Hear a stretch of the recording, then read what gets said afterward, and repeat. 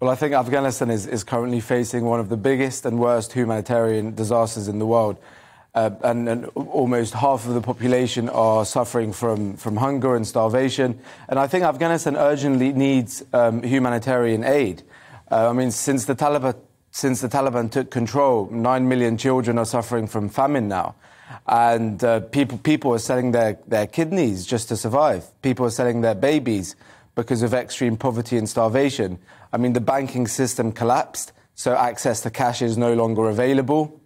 And at the same time, people, people don't have uh, any, any confidence in, in what's happening in the future. And this is all because of the sanctions that have been put in place by the international community because the Taliban is running the country.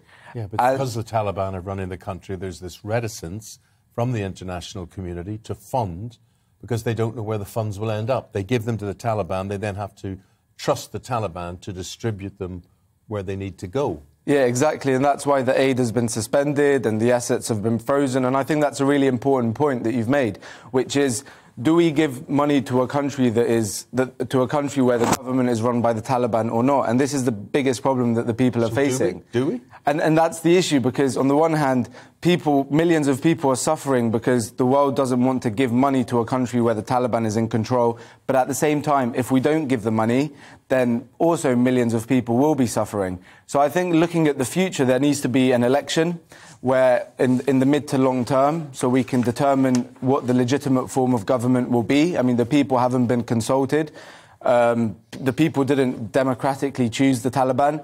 I also think that the Taliban don't have the capacity or the skills to run the country in the long term. You know, members of the Afghan diaspora living outside the country need to be given the chance to to go back and to shape the rebuilding of the country. But, but, I mean, this is all hypothetical. This is Clyde Cuckoo. I mean, the Taliban's not going to roll over and say, yeah, we'll relinquish power to a wider diaspora. Mm-hmm. And, and, and that's why I think they need to, they must be held accountable for what's going to happen in the future. because if we're going to support them financially, yeah. then they have to understand that they can't continue what they've been doing no, in the past. That's why they've got to be held accountable. But how do you hold them accountable? Um, how we hold them accountable is through the institutions like the United Nations and the World Bank, for example. You know, women's rights ha- has to improve the situation of ethnic minorities has to improve. I mean, just yesterday, a, a shopkeeper, innocent shopkeeper in the north of Kabul, was gunned down by the Taliban. Journalists are still being imprisoned. Ex Afghan officials are still in prison. Children as young as 12 years old are still in prison. And, and that's why I think, you know, forced marriages are still happening. Mm. So if, eh, but then the, the, tricky, the tricky question is the Taliban shouldn't feel like they can do whatever they want to do just because the international community feel pressured to support the people of Afghanistan. No, of course. And look, Darius, you obviously were born in Afghanistan and you fled the country because of troubles. Well, I don't know how old you are.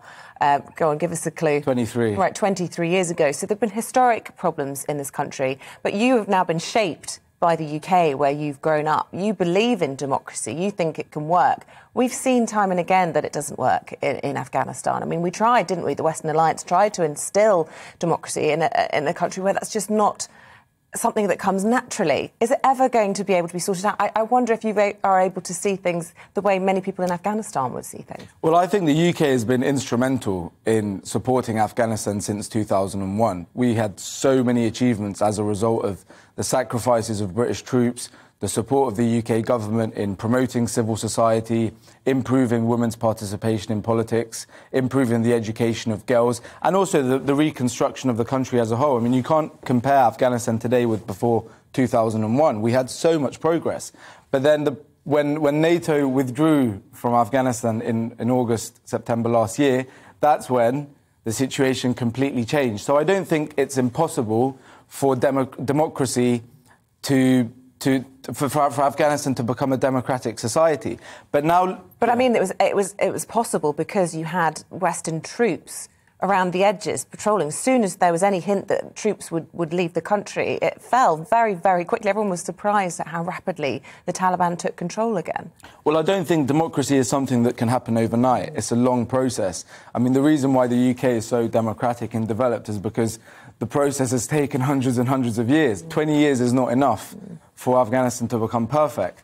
But then looking at the future, I think there needs to be a change in the political system as well. As I, as I touched upon earlier, the people haven't been consulted as to what they want.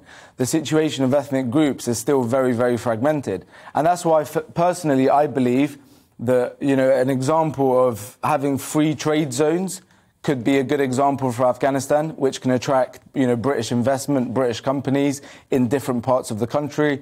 Politically speaking, maybe devolution of power to specific zones um, can also be a good idea because centralized power in Afghanistan, as we've seen in the past, didn't work.